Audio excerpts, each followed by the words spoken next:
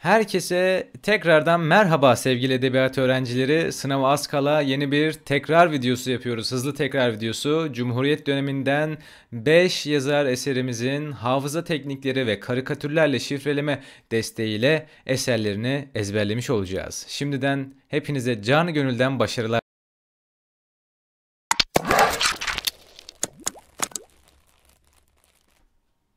İlk sanatçımız Necip Fazıl Kısakürek olacak. Hikayemizi hemen geçiyoruz.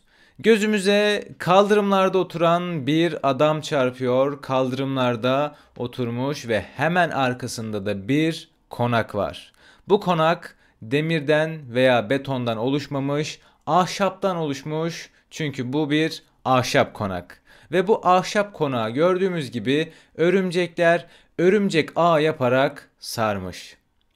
Kaldırımların arkasındaki örümcek ağının sardığı ahşap konağın aşağısında da evin reisi Reis Bey oturuyor ve Reis Bey orada otururken bir anda kaldırımlara doğru yaklaşan bir cip görmüş. Ve cipi görünce Necip B demiş. Necip B demesi bizlere Necip Fazıl Kısa Küreğin eserlerini hatırlamamıza yardımcı olacak. Ve bu cipten siyah pelerinli çok zengin bir adam inmiş ve bu siyah pelerinli adam cipinden aşağı inerken yere paraları saçılmış.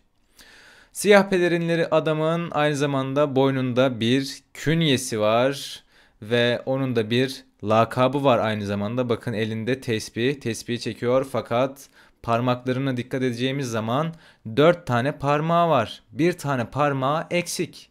Bu siyah pelerinli künyeli adamın lakabı namı diğer parmaksız Salih'miş.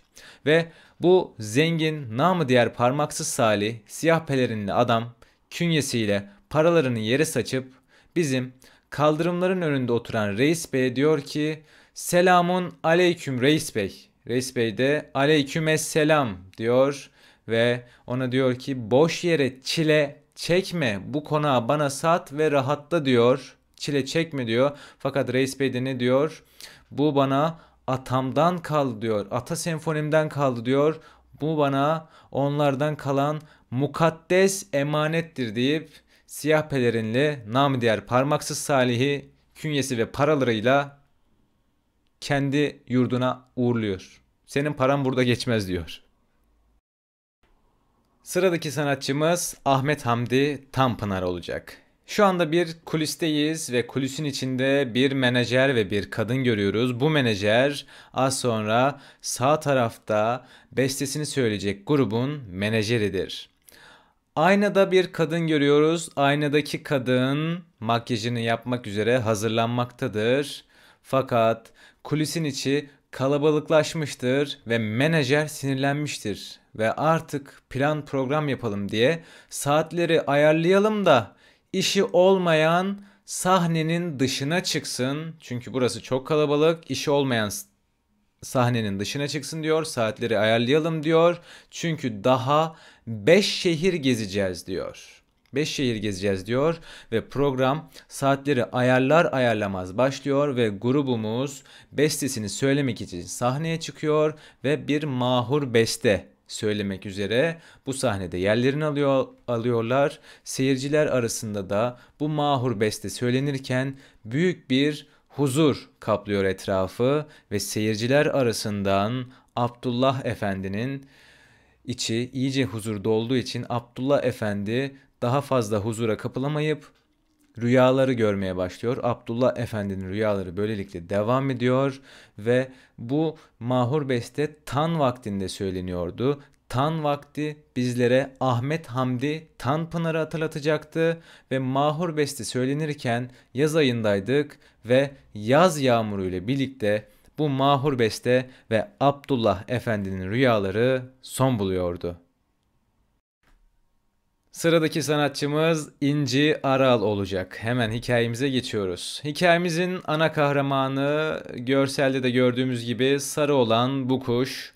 Sarı tüyleri olan bu kuşumuzun safran sarısı renklinde tüyleri var ve tüyleri oldukça uzamış. Çünkü ağda zamanı gelmiş ve ağda yapmak için doğadan çam ağda bulmuş ve çam ağdanında daha doğru ve doğal bir şekilde tüylerini alması için gölgede 40 derecede ısınması lazım ki sonuç versin. Bu safran sarısı kuşumuzun boynunda da inciden kolye var. Onu görüyoruz. Bu inci kolyeyi aklımızda tutuyoruz, unutmuyoruz. Safran sarısı rengindeki kuşumuzun bir de mor renginde sevgilisi var ve bu mor sevgilisi oldukça sadakatsizmiş, sadakat sahibi değilmiş ve bir gün bu mor sevgili safran sarıyı arar.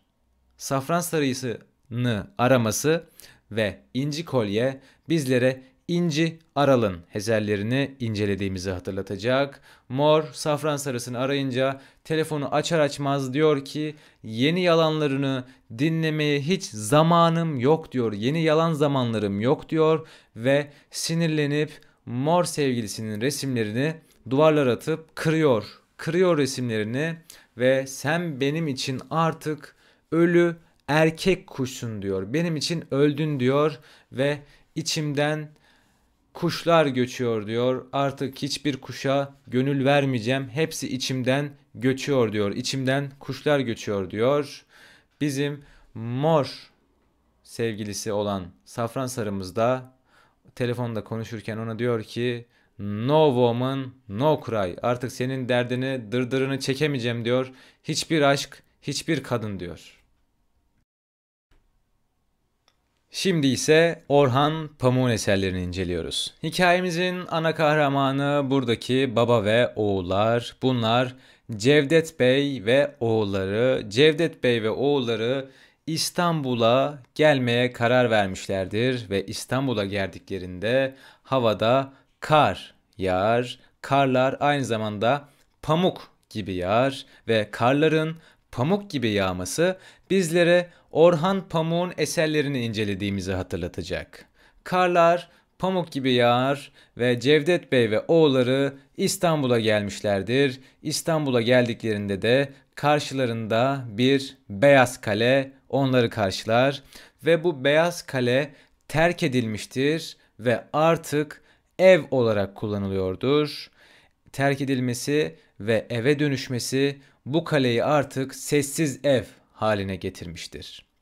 İçeriye girmişlerdir. Sessiz ev haline dönen bu beyaz kalenin içine girmişlerdir ve babaları lavaboya gittikten sonra çocuklar babalarının bavullarını açarlar ve gizemli bir şekilde içini incelerler ve babalarının bavulun içinden kara bir kitap çıkar. Kara kitap çıkar ve kara kitabı açar açmaz da içinden benim adım kırmızı diyen bir yaratık çıkar ve çocuklar ne gördüğünü şaşırır ve kafamda bir tuhaflık var derler.